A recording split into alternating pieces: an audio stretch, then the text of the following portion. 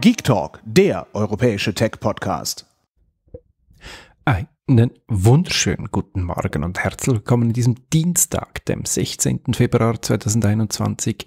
Ihr hört die Geek Talk Daily 955. Heute mit den folgenden Themen: For All Mankind, VW, Zuckerberg, Huawei und ARM.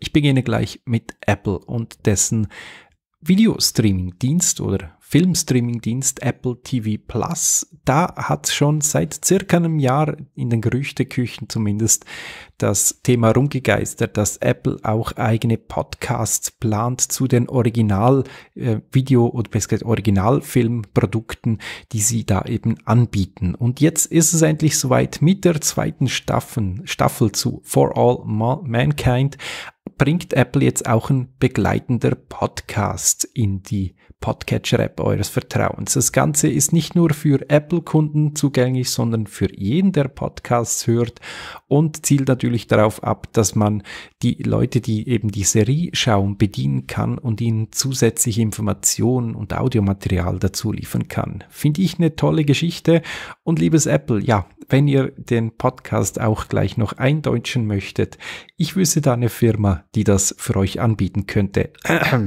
Hallo, ich wäre da. Scherz am Rande. Nee, ernst gemeint. Aber ja, gehen wir zum nächsten Thema und da geht's wieder um Apple oder genau gesagt um VW.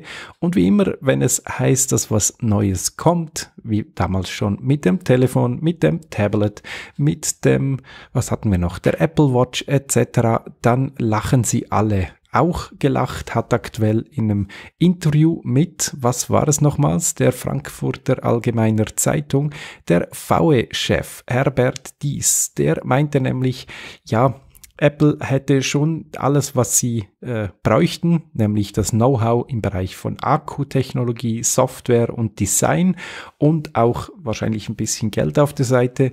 Aber er glaubt nicht daran, dass sie es schaffen werden, da ziemlich schnell ziemlich groß zu werden. Und ja, mal schauen. Apple streitet es ja immer noch ab, dass da was kommt. Man hat zwar das eine oder andere Mal durchblicken lassen, dass da, dass man da an gewissen Dingen testet und macht, aber was es genau gibt, ob ein eigenes Auto, nur Software, also Betriebssystem oder was auch immer, das wissen wir nicht. Das wissen wir erst, wenn es soweit ist. Und bis dann würde ich doch mal sagen, äh, ja, Füße stillhalten und uns dann überraschen lassen, wenn es dann wirklich soweit ist. Und man hat es ja beim iPhone gesehen, sieben, acht Jahre waren sie schon am ähm, ähm, er, ja, was sagt man dem, erproben und testen an dem Ganzen. Man hat es beim iPad gesehen, da waren sogar noch mehr Jahre. Man hat es bei der Apple Watch gesehen, auch da hatten sie viele Jahre vor, äh, Vorgang oder Vorlauf. Und seit wann sagt man Apple nach, das mit dem Auto? Ich glaube seit circa sieben Jahre. Mal schauen, was wir in den nächsten ein, zwei Jahre sehen werden.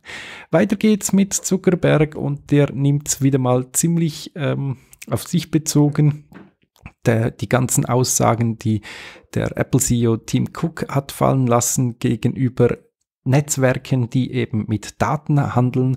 Und ja, ich finde, er muss sich auch angesprochen fühlen, weil äh, ja, es macht ja vor allem Facebook das ganz stark. Ähm, in internen Meetings soll Mr. Zuckerberg gesagt haben, dass man Apple Schaden zufügen wolle. Unter anderem hat man ja auch äh, schon mehrfach gehört und ich glaube, wir hatten es auch schon in der Daily drin, dass ähm, zu, äh, Facebook an der Klage in Richtung Apple dran ist, um dieses Tracking-Verbot äh, äh, anzufechten. Wir dürfen mal sehen, wie weit das kommt. Heute geht es viel um Hören, Sagen und ähm, in Interview erzählt. Das gleiche ist passiert im Bereich von Huawei. Da hat nämlich der CEO gemeint, dass das iPhone sein quasi in Anführungsschlusszeichen Lieblingssmartphone sei, weil es das beste Smartphone ist, dass es den Kunden erlaubt, bei 5G auf bis zu 1,28 Gigabyte in den Sekunden beim Download zu kommen.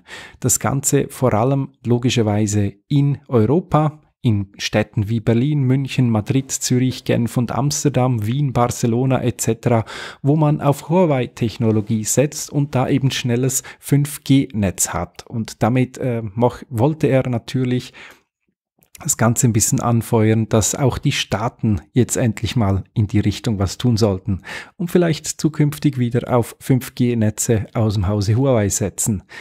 Ich würde es Huawei nur wünschen, denn die Produkte, halt hier gerade zwei davon in den Händen, sind schon richtig schick. Da muss jetzt nur wieder das richtige, ja, halt leider Google drauf oder Huawei macht vorwärts mit dem eigenen Betriebssystem mal schauen, wie schnell und äh, das Ganze kommen wird.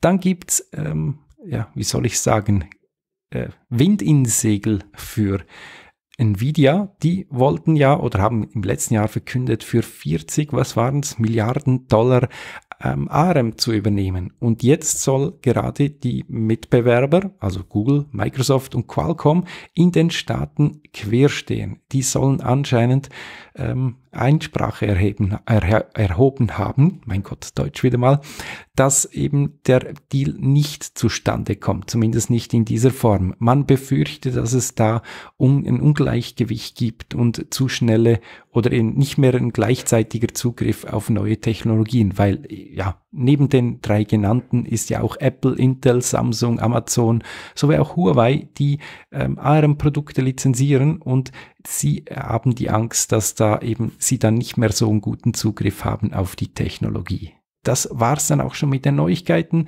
Meiner Stimme zuliebe bin ich auch gerade froh, dass es so ist. Ich schon jetzt die Stimme wieder, dass es, wenn es klappt, morgen wieder eine Daily-Folge für euch gibt. In diesem Sinne, besten Dank fürs Reinhören. Euch noch einen schönen und erfolgreichen Tag. Euer Pogipsi. Tschüss. Hört mehr Geek Talk.